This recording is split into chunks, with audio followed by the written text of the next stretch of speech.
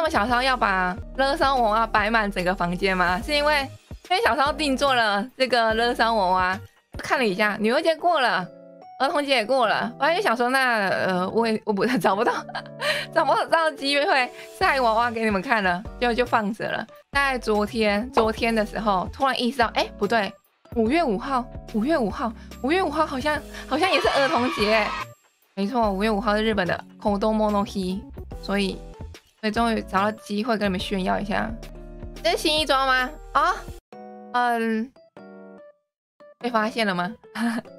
被发现了吗？它不是新衣装啦，就只是逛街找到的居家服，然后，然后想说，哎，在比较休闲的日子穿给你们看，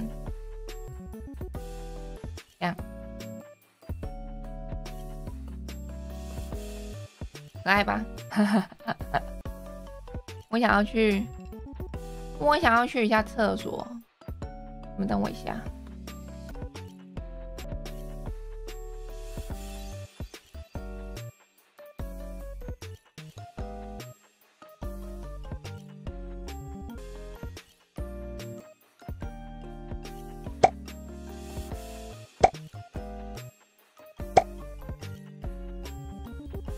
Hello，这样子，这样动起来还是第一次哎。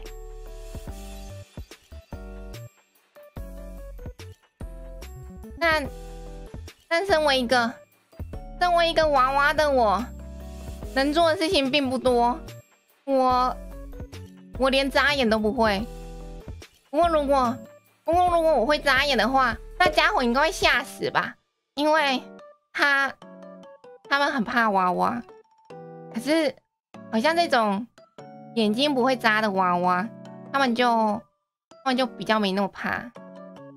你们现在算是在体验一种灵异现象吗？后面的乐山会动吗？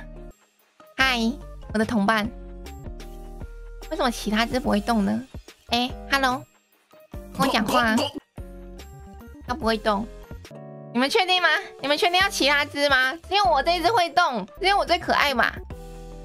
你们要想想，我只是个娃娃，我不像你们细烧主播、小烧主播，那活在虚拟世界的人，那还是有点、有点、有点游走在危险的边缘。可是我只是个娃娃，这世界上有多少的人会对着娃娃敲敲，我是不知道啦。但是有没有人因为对着娃娃敲敲就被抓到警察局里面？是不是没有啊？难道说这就是世界的真理？这个台只有只有人杀娃娃是可以射射的吗？只有我是可以射射的，我是最强的那一个，我是最强的，只有我可以射射，因为射射我不会犯罪，射射人杀娃娃不会犯罪。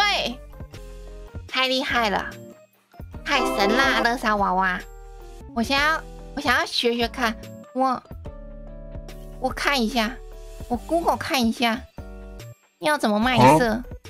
哦，我要这样，嗯嗯嗯嗯，好。总之要先把衣服脱掉，总之要先把衣服脱掉。那我们试试看。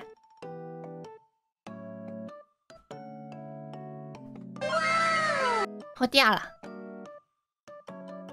这样子会不会很色？这样会不会很色？这是这个台没有出现过的色情台，这样会问吗？这样会问吗？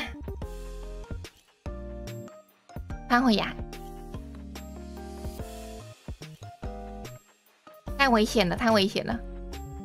如果他的牌被变掉了，那怎么办？那可不得了了！